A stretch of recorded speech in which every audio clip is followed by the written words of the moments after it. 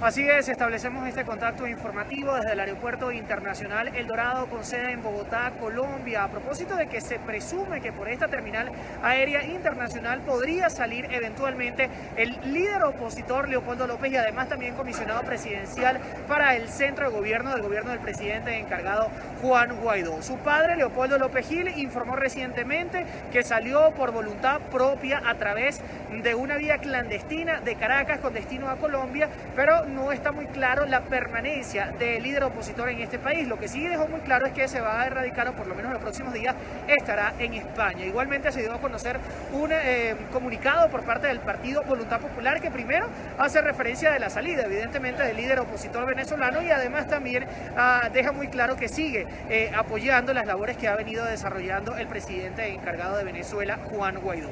Nosotros en BPI TV nos mantendremos acá en el Aeropuerto Internacional El Dorado para llevarles a ustedes cualquier eventualidad que se pueda presentar. Justamente de este lugar donde se encuentra a mi espalda la salida de los diplomáticos de este país. Yo soy José Arnaldo Mujica, esto es BPI TV desde Bogotá, Colombia, con toda la información para la audiencia de BPI.